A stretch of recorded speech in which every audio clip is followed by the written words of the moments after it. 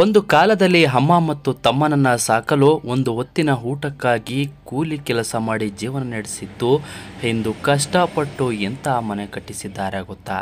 ನಿಜಕ್ಕೂ ಶಾಕ್ ಆಗ್ತೀರಾ? ಅರೆ ಯಾರಿದು ಅಂತೀರಾ? ಬನ್ನಿ ನೋಡೋಣ.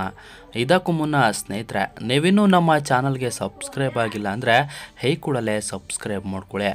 ಡೇ ಟು ಡೇ ಅಪ್ಡೇಟ್ಸ್ಗಾಗಿ ಪಕ್ಕದ ಬೆಲ್ ಐಕನ್ ಪ್ರೆಸ್ ಮಾಡ್ಕೊಳ್ಳಿ. ಸ್ನೇಹಿತರೆ, ಕನ್ನಡದ ನಂಬರ್ ಒನ್ ನಿರೂಪಕಿ ಅನುಶ್ರೀ ಅವರು ಇಂದು ಲಕ್ಷ ಲಕ್ಷ ಸಂಪಾದನೆ ಮಾಡುತ್ತಿದ್ದಾರೆ.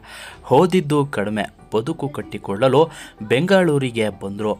ಇನ್ನು ಚಿಕ್ಕವನು ಅವನನ್ನು ಸಾಕಬೇಕಾದ ಕರ್ತವ್ಯ ಅನುಶ್ರೀ ಅವರಿಗಿತ್ತು. ತಮ್ಮನನ್ನು ಓದಿಸಬೇಕಿತ್ತು. ಹೀಗೆ ಹಲವಾರು ದೊಡ್ಡ ಜವಾಬ್ದಾರಿಗಳನ್ನು ಬೆಣ್ಣಿಗೆ ಕಟ್ಟಿಕೊಂಡು ಎಲ್ಲ ಆಸೆಗಳನ್ನು ಕಟ್ಟಿಕೊಂಡು ಬೆಂಗಳೂರಿಗೆ ಬಂದು ಹೇಳಿದರು ಅನುಶ್ರೀ ಅವರು ಮಂಗಳೂರಿನಲ್ಲಿ ತುಳು ಮಾತನಾಡುವ ಕುಟುಂಬದಲ್ಲಿ ಹುಟ್ಟಿದವರು. ಇವರಿಗೆ ಅಭಿಜಿತ್ ಎಂಬ ತಮ್ಮನಿದ್ದಾನೆ. ಹೆಂಡತಿ ಮಕ್ಕಳನ್ನು ನೋಡಿಕೊಳ್ಳಲು ಆಗದೆ ಅನುಶ್ರೀ ಅವರ ತಂದೆ ಬಿಟ್ಟು ಹೋದರು. ಅನುಶ್ರೀ ಮನೆಯ ಹಿರಿಮಗಳು. ಆದ ಕಾರಣ ಚಿಕ್ಕ ವಯಸ್ಸಿನಲ್ಲೇ ಮನೆಯ ಜವಾಬ್ದಾರಿಯೊಂದಿಗೆ ಅಮ್ಮ ಮತ್ತು ತಮ್ಮನನ್ನು ಸಾಕುವ ಜವಾಬ್ದಾರಿಯನ್ನು ಹೊತ್ತುಕೊಂಡ್ರು. ಈ ದೊಡ್ಡ ಜವಾಬ್ದಾರಿಯನ್ನು ನಿಭಾಯಿಸಲು ಅನುಶ್ರೀ ಓದನ್ನು ನಿಲ್ಲಿಸಬೇಕಾಯಿತು.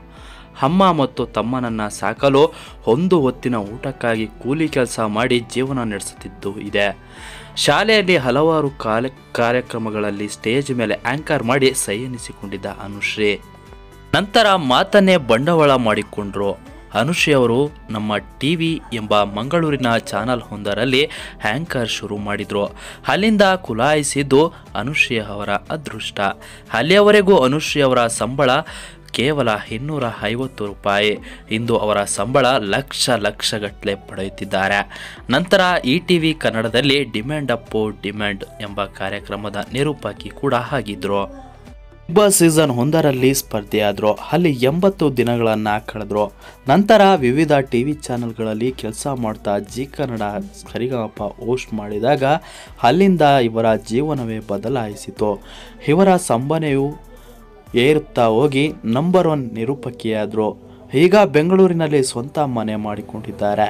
ನಮ್ಮಲ್ಲಿ ಟ್ಯಾಲೆಂಟ್ ಇದ್ದರೆ ಸಾಕು, ಹಣದ ಅವಶ್ಯಕತೆ ಅವಶ್ಯಕತೆ ಇಲ್ಲದೆ ಏನು ಬೇಕಾದರೂ ಸಾಧನೆ ಮಾಡ್ಬೋದು ಅನ್ನೋದಕ್ಕೆ ಅವರು ಉತ್ತಮ ಉದಾಹರಣೆ. ಅವರು ಹೆಣ್ಣು ಮಕ್ಕಳಿಗೂ ಮಾದರಿಯಾಗಿದ್ದಾರೆ. ಇವರ ಕನ್ ಸಾಧನೆಗೆ ನಿಮ್ಮ ಅಭಿಪ್ರಾಯ ಅನಿಸಿಕೆಗಳನ್ನು ಈ ಕೂಡಲೇ ಕಮೆಂಟ್ ಮೂಲಕ ತಿಳಿಸಿ. Thank you